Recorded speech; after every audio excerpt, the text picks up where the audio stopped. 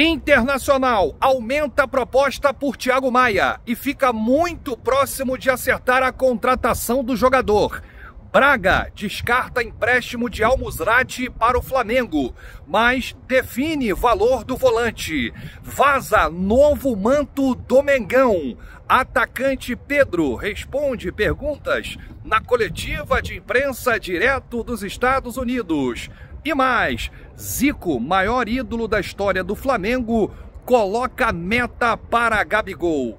Essas e outras a partir de agora no seu canal Raflamelo. Cola, cola, cola, cola. Cola esse dedo no like, ajude muito os nossos vídeos. Você que ainda não é inscrito, aqui embaixo tem um botão inscreva-se. É muito importante a inscrição para o crescimento do canal. Não se esqueça de ativar o sininho para receber todos os nossos vídeos. Ah, Flamelo 81 nossa gente, vem comigo, assista até o final, não pule esquema parte, porque tem muita informação do rubro-negro mais querido do Brasil e do mundo. Olha, tem muita informação nesse vídeo e muitas imagens também para vocês acompanharem da atividade. Pela primeira vez, a imprensa foi liberada para filmar mais de 15 minutos. Olha, nós ficamos aqui quase uma hora filmando as atividades do Flamengo, disponibilizadas para todos. A gente pode postar o material, não vai comprometer em nada a questão tática, o treinamento do Tite. Se foi autorizado é porque realmente pode postar. E a gente também não quer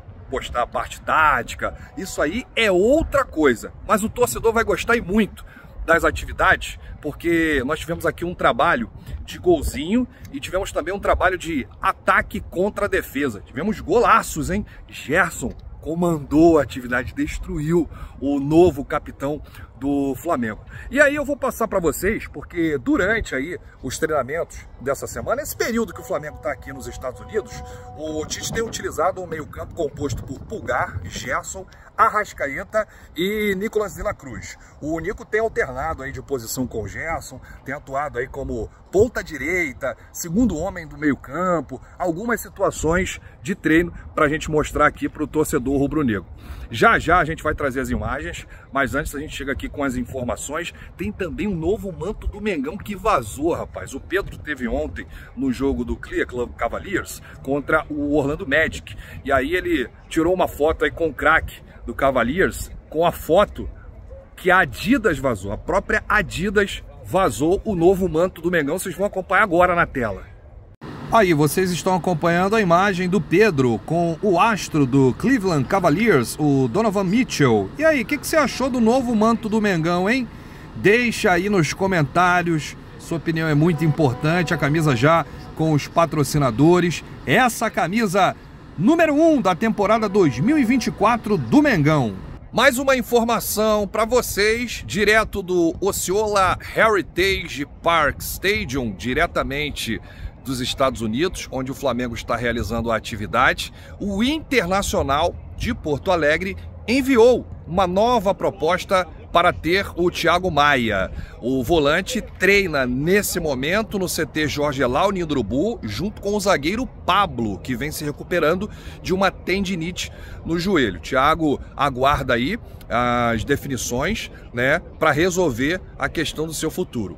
Essa proposta que chegou ao Flamengo é próxima dos 4 milhões de euros. A primeira proposta do Internacional era de 3 milhões de euros. O Flamengo recusou. 4 milhões de euros tem negócio. Curiosamente, é o mesmo valor que o Flamengo investiu na compra dos 50% do atleta, alguns anos atrás. Os outros 50% de Thiago Maia pertencem ao Lille, da França.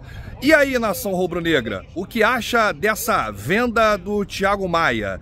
As negociações estão ah, chegando ao fim e o Flamengo está muito próximo de sacramentar a saída do volante Thiago Maia para o Internacional de Porto Alegre. Foi um pedido do técnico Eduardo Cudê. Essa negociação está bem próxima de ser finalizada e o Flamengo já conta agora com 4 milhões de euros, algo muito próximo aos 4 milhões de euros, sendo que o Flamengo só tem direito a 50% do atleta. Deixa aí nos comentários o que, que você acha dessa negociação. É um bom negócio para o Mengão?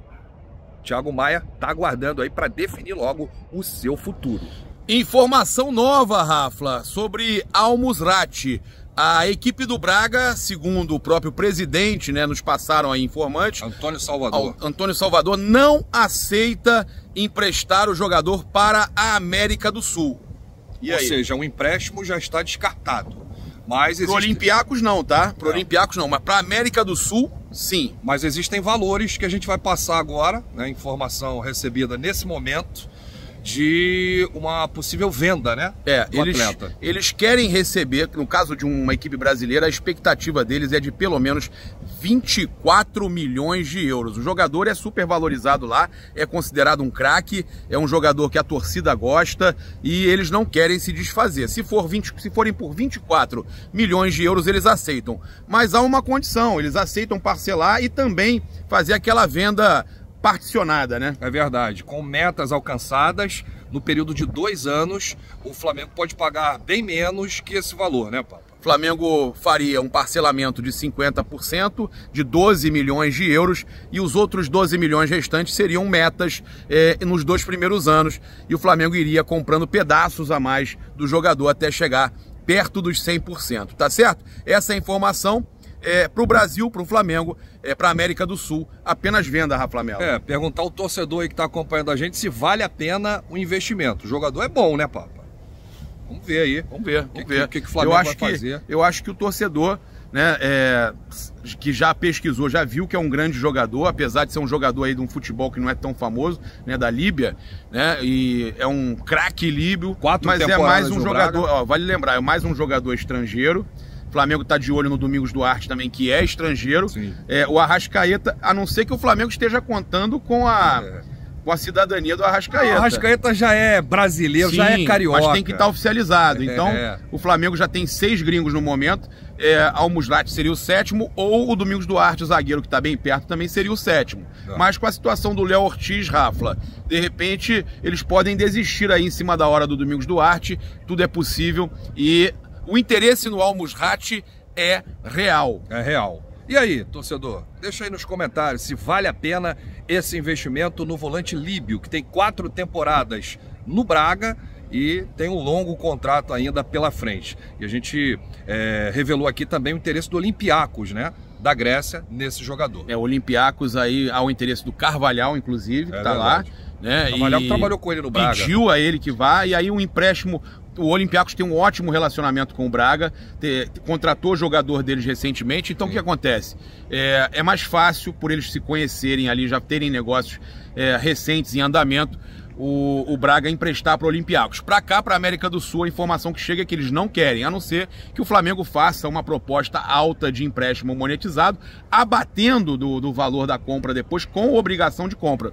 Aí é possível fazer uma composição, né? É. O importante nessa parada é o network que os dirigentes fazem com o clube português. Já não é de hoje o interesse, né? O Flamengo que sentou com o presidente do Braga naquela ocasião, tentando a contratação do Carlos Carvalhal, o técnico português, e ficou um bom relacionamento entre os clubes, né, Paulo?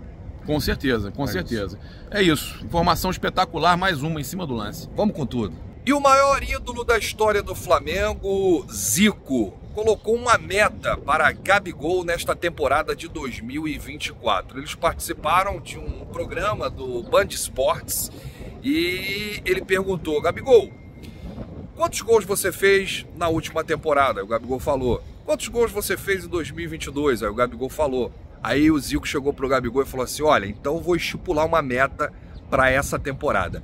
Menos de 35 gols não dá. O Gabigol riu falou: Tá bom, vou cumprir. Lembrando que o Gabigol está a 15 jogos sem marcar. Mas eu acredito na volta por cima do atacante do Mengão, ídolo decisivo. Gabigol vai dar a volta por cima. Vamos com tudo, acreditar sempre terceira atividade do Mengão rolando por aqui. Você acompanha os atletas do Flamengo. Os atletas divididos em grupo. Você acompanha chegar ali De La Cruz e Arrascaeta.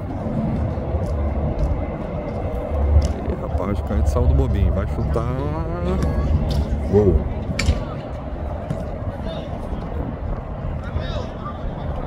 Agora Alan e Varela.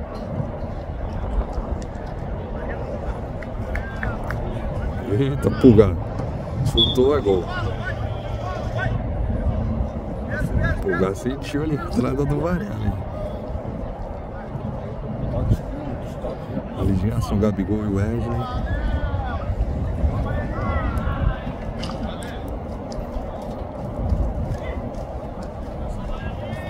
Davi Luiz chutou.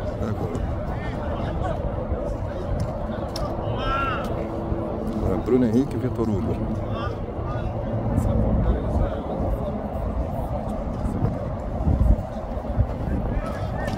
Chutou, é gol.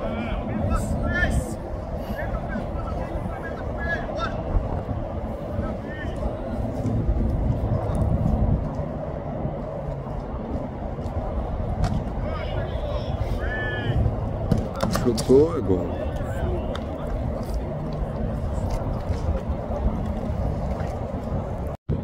Agora nós tivemos uma mudança na dinâmica. Matheus Bach ali passando as orientações. E eu acho que vai ser ataque contra a defesa, hein? Ali o Fabrício Bruno. Cleiton, Ailton Lucas, Davi Luiz, Varela, Carmone também. Vamos ver como é que vai ser a dinâmica.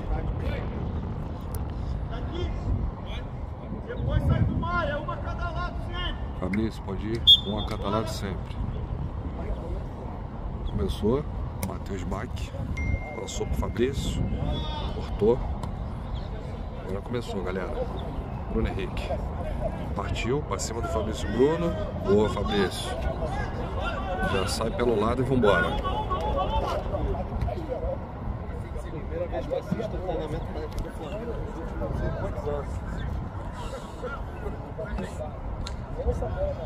Agora é o, agora é o Léo Pereira. Arrascaeta e Pedro. Aí. Pedro, golaço, que jogada.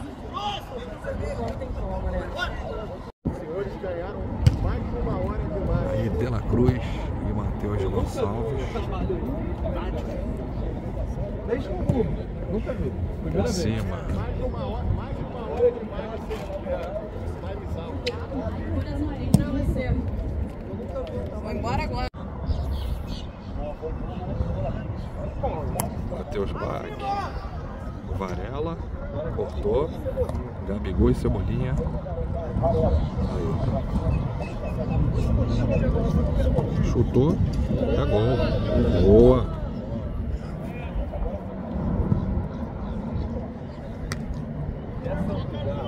Carbone, cortou de cabeça. Pulgar e Gerson. Gerson, que golaço! Cobertura. Aí chutou, Davi Luiz cortou. Agora Vitor Hugo e Alan.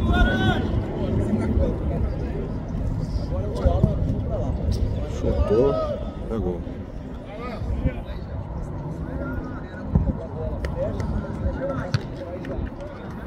Luiz Araújo e Bruno Henrique, hein?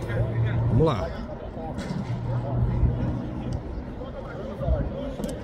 Chutou para fora. Pedro, 2019 foi uma das temporadas mais marcantes, né? Para esse elenco, você chegou em 2020, mas muitos contarão essa história, né? É a temporada que começou aqui, na Flórida, na Florida Cup, antiga Florida Cup. E eu queria te perguntar o quanto é importante o Flamengo retornar aqui depois de cinco anos, fazendo essa pré-temporada, a segunda parte, aqui, disputando o FC Sears, vocês que já jogaram contra o Philadelphia, uh, o quanto é importante para você, para o grupo, e se você espera que essa temporada seja um pouco parecida com aquela de 2019. Ah, tem sido, como eu falei, né, tem sido incrível essa, essa experiência aqui no, nos Estados Unidos, né, para mim é, é a primeira vez aqui junto com o Flamengo e e espero que a gente possa sim né, fazer um grande ano com, com grandes conquistas, é, mas a gente sabe que tem um ano longo pela frente, a gente vai passo a passo buscar a evolução, buscar o crescimento que a gente precisa e com muita humildade tentar os títulos que a gente tem pela frente. Muito ambiente, né? A gente viu um vídeo do Tite muito emocionado, falando que gostou da atitude dos jogadores.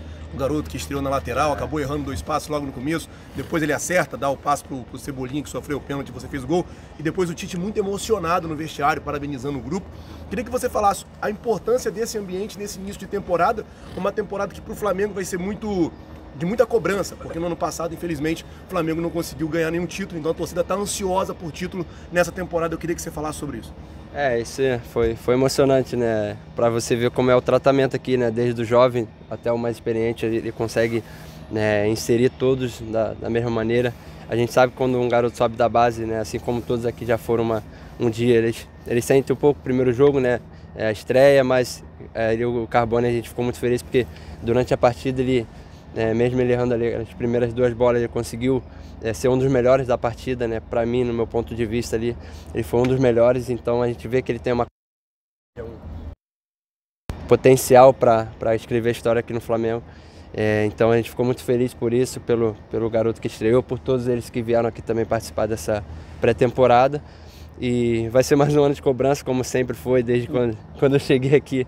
É, o Flamengo ele exige isso, né, pelo tamanho da, do elenco, pela grandeza do clube também, pra, pelo tamanho da torcida, tudo isso.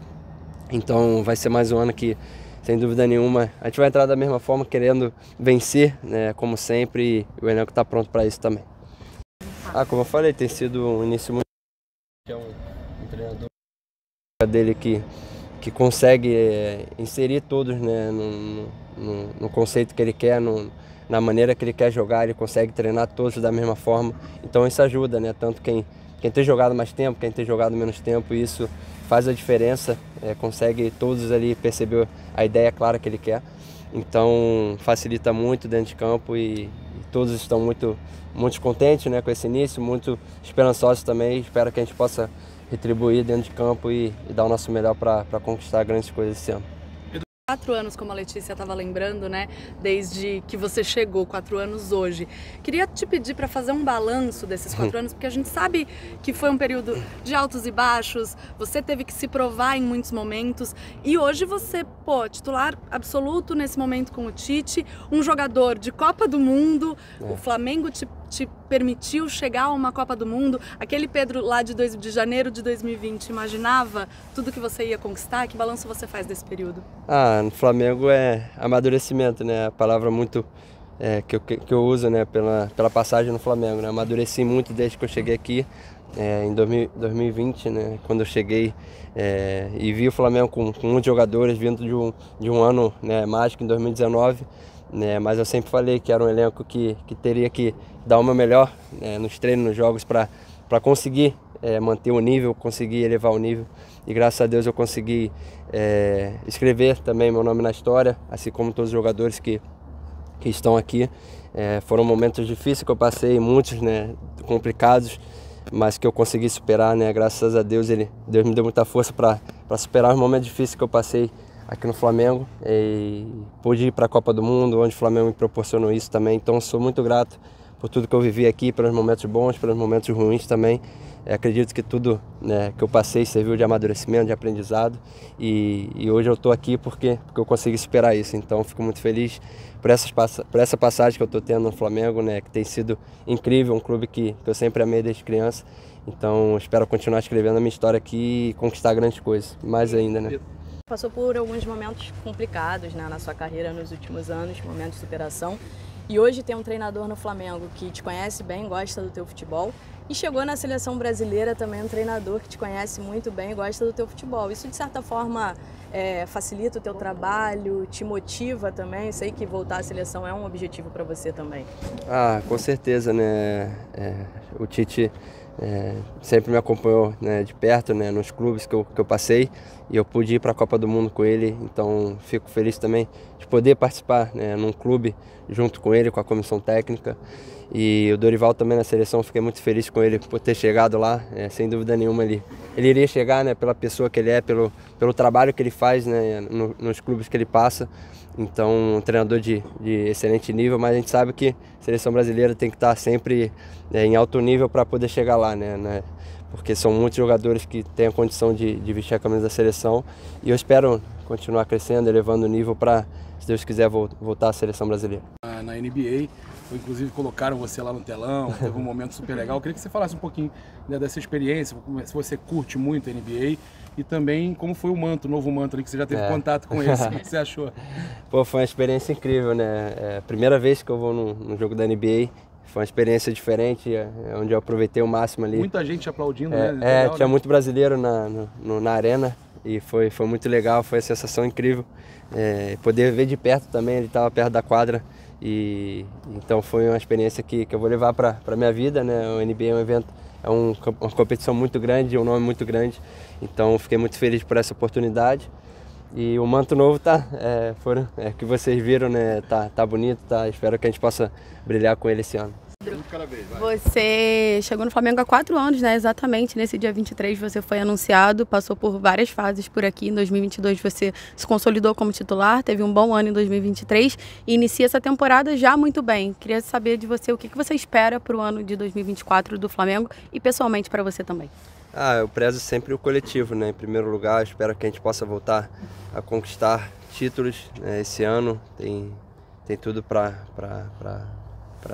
dar tudo certo. Né? Tem sido bom início de temporada, como eu falei, com, com ideias claras, com, com a comissão técnica que, que dispensa comentário também. Mas eu, eu prezo o coletivo, espero que todos possam estar no melhor, no melhor ano para dar o melhor para o Flamengo. E individualmente, é claro, é, tentar é, fazer bons jogos, dar o meu melhor, fazer gols, né, é o que eu espero fazer esse ano. Pedro, é, você termina o ano como titular e começa como titular também. Isso psicologicamente ajuda o atacante que sempre precisa de confiança ali na frente? Ah, como eu sempre falo no Flamengo, né? Todos têm que estar tá, tá pronto, preparado. É, desde quando eu cheguei lá há quatro anos atrás, sempre falei isso. Acho que aqui no Flamengo né, é um elenco recheado né, de, de jogadores de qualidade e o Flamengo ganha muito com isso.